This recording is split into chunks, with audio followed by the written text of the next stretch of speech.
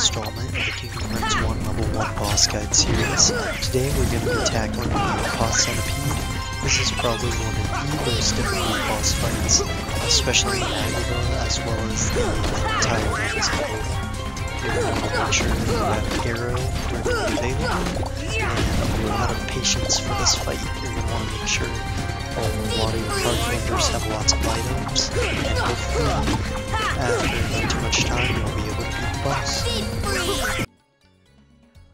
Alright, so diving right into the menu, we can look at our items, and we see that Sora has a Mega Potion, an Ether, and another potion. Goofy's gonna have a Mega Potion and three potions equipped. Then we're gonna go over to Aladdin, who has a Mega Potion, and then four potions equipped. That should be pretty solid to get you through the hardest part of the fight, which is the start of it. Sora's gonna have the Jungle King, Inferno Band, and the White Fang. Goofy will have the Stealth Shield, Protect Chain, and Brave Warrior, and Aladdin will have the Sword, Protect Chain, and Fire Ring. Moving on over to abilities, Sora will still have Experience Zero and Dodge Roll, and then Goofy has nothing, but Aladdin has Croissant, Sandstorm Cheer, Treasure Magnet, Lucky Strike, and Jackpot, all its base abilities. Now let's hop into the boss. Alright, so starting off the fight, we're going to want to go ahead and use Aero to get that little bit of defense, and then go straight in for the head of the boss. You're going to want to get in some aerial combos as well as some ground combos here. Hopefully you don't get hit by the head, you mainly just get hit by the little pots as they do a little bit less damage. If you get hit, make sure you just back up, and then if your aero runs out, make sure you pick that back up as well, because if not, you have a good chance of getting one shot by the um, head or the tail, there's a chance that could happen, as well as just being double teamed by the head and the pots, and it just pretty much ruining your day. If you have aero, you get hit by the head and then a pot, you should be able to live both those hits and then be able to get away for another cure. So here, we're just kind of drawing him out, baiting him out. We don't want to hit him right away after he uh, splits up from the vases, as he can um, counterattack with the little white orbs around his antennas and they do hurt a lot.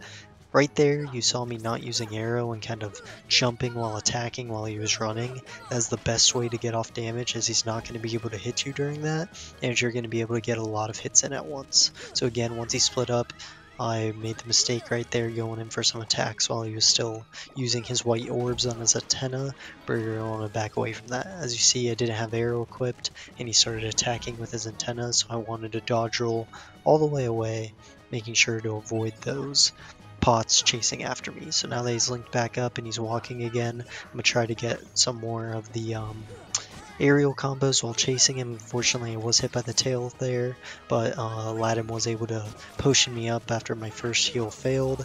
After that happened, I want to make sure to get my aero back up since I was getting hit a lot.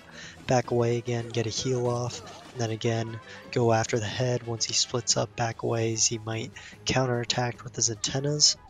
Once I find out that it's safe, and go in back for the jumping attacks. You gotta watch out for the pots though, or they, as they are pretty random and can attack you pretty much out of nowhere. So once he starts doing his walking motion again, we're going to want to try to get up all the way to the head and follow him as far as possible. He did counter react with the white antenna attack, so I did get hit, but I had enough MP to cure up, which is why we did bring one ether just in case we need to get our um, MP back up to get aero equipped. Uh, you really shouldn't have to use an ether to get your MP uh, back up to use cure. If your MP is low, uh, and you need to heal but not necessarily use aero, I'd recommend using one of those potions that we brought. But right there, I was getting hit a lot and I knew he was lower on health, so I wanted to make sure I used that ether to go ahead and get that aero back up, so it was just one less thing I had to worry about. Right here, got hit, make sure I cure up. While he's trapped in that corner, we go ahead and get some more hits in. He's kind of walking away there, and we kind of trapped him in the corner and was able to finish him off. I hope he wasn't too difficult and that you guys enjoyed, and I'll see you in the next one.